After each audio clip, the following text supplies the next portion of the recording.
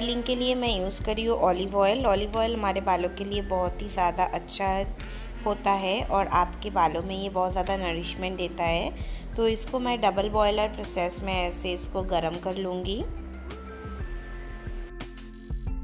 इससे पहले आप थोड़ा सा यू नो हेयर कॉम कर लो।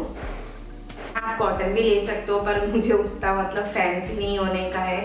क्योंकि मैं बहुत ही नॉर्मल तरीके से जो करती हूँ, वो ही आपके साथ शेयर करी हूँ।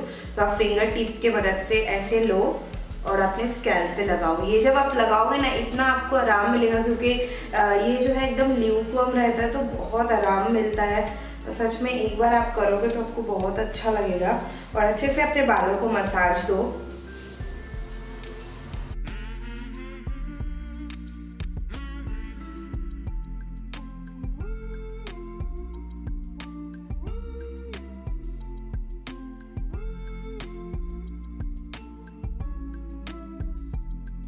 तो अभी आप एक बन बना लीजिए अच्छे से। अच्छे से एक बन बना के छोड़ दीजिए और मैं दो घंटा भी वेट करूँगी। सो दो घंटे बाद फिर मैं आपसे मिलती हूँ।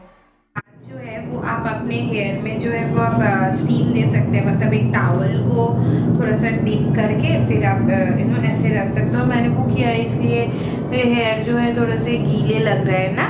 तो वो बहुत ही स्मूथ हो जाते हैं, बहुत अच्छे हो जाते हैं। और इसके बाद आ, मैं लगाऊँगी एक हेयर पैक तो ये टोटली ऑप्शनल है। ये मॉम्स थेरेपी बोल के कोई ब्रांड है जिसकी प्रोडक्ट मैं फ़र्स्ट टाइम यूज़ कर रही हूँ। तो इसको मैं यूज़ करूँगी। तो ये काइंड ऑफ़ हेना टाइप का है। मैंने वैनिटी कास्ट के वीडियो में आपको दिखाया था। देखो मैं डाल के दिखाती हूँ। काफ़ी सारा निकल गया है। तो मुझे नहीं लगता मुझे इतना चाहिए। थोड़ा सा मैं कम कर लेती हूँ।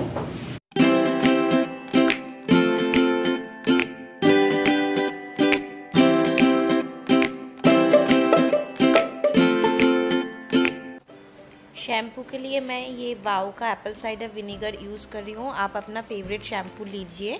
तो एक मग में आप थोड़ा सा पानी ले लीजिए और उसमें मैं दो पम्प शैम्पू ऐड कर रही हूँ। इससे शैम्पू बहुत ही माइल्ड होता है और ऐसे ही शैम्पू कीजिए, ये बहुत अच्छा होता है। वॉश कर लोगे और आपके बाल थोड़े से, यू नो, हल्के से ड्राई हो जाएँगे। उसके बाद आप कोई भी जो है हेयर सीरम लगा सकते हो। मैं आजकल ये स्ट्रिक्स का ये सीरम लगाती हूँ।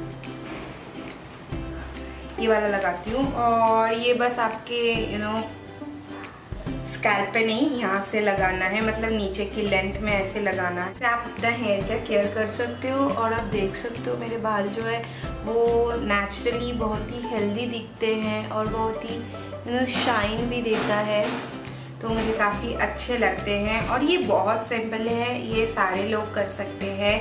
तो ये था मेरा हेयर केयर का रूटीन जो मैं हमेशा फॉलो करती हूँ और समर में एक्चुअली आपको तीन दिन तो एटलीस्ट आपको शैम्पू करना ही चाहिए, क्योंकि बाहर जाते धूल मट्टी लग जाती है, काफ़ी हेयर और स्कैल्प जो है वो ख़राब हो जाते हैं। तो इसलिए ये बहुत ज़्यादा ज़रूरी है। तो आई होप आपको मेरा ये छोटा सा एंड सिंपल सा रियलिस्टिक एकदम हेयर केयर रूटीन जो है वो पसंद आया है। पसंद आया तो ज़रूर इस वीडियो को एक लाइक ज़रूर कर दे और शेयर कर दे। और बस, और कुछ नहीं, चलिए नेक्स्ट वीडियो में मिलूँगी। टाटा।